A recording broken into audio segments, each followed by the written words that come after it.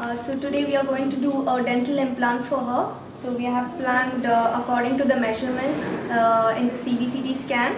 So one in the molars and one in the premolars. So in few minutes we are going to take her to the theatre. couple dental implants for this patient. Right?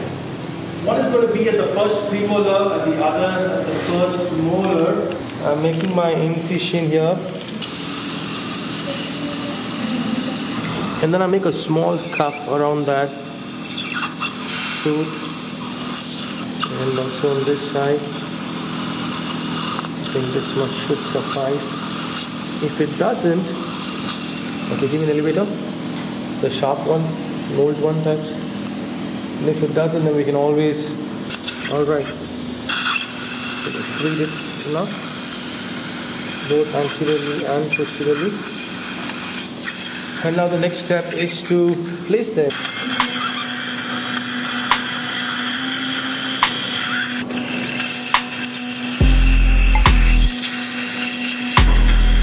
They will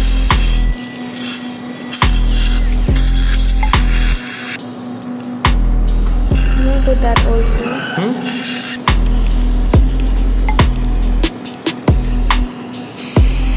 Make it tight So you can see the two implants placed in. I think all in all we've taken eight minutes. Probably a little less. So she's saying that she didn't have a even a bit of pain.